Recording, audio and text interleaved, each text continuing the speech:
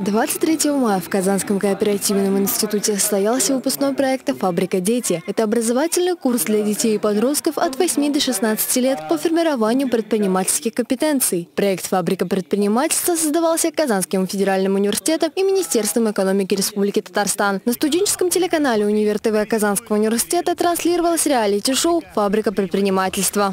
Мы пятый год занимаемся обучением предпринимательства и пришли к пониманию того, что именно основу и а компетенции предпринимателя нужно а, зарождать еще в самом детстве. Выпускники IT-лицея, например, а у них очень много проектов, связанных с использованием 3D принтера, либо высокотехнологичных инноваций. Это вообще удивительно, чтобы дети школьного возраста занимались высокотехнологичным предпринимательством. Участие в проекте приняли более 100 учащихся школ города Казани. За три месяца они создали уникальные проекты – кубик Рубик для слепых, домашняя сыроварня, частные уроки английского языка. Мой проект достаточно сложный. Это протез, который будет помогать людям с поврежденными конечностями. Здесь интерес этого проекта заключается в том, что э, нога может быть цела, но, допустим, не работать определенная мышца.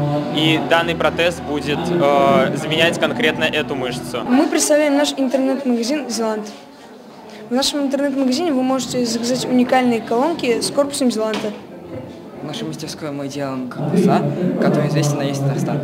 На данный момент курс «Фабрика дети» реализуется в Казани, Набережных Челнах и Нижнекамске. Диана Шилова, Владимир Нелюбин, Универньюз.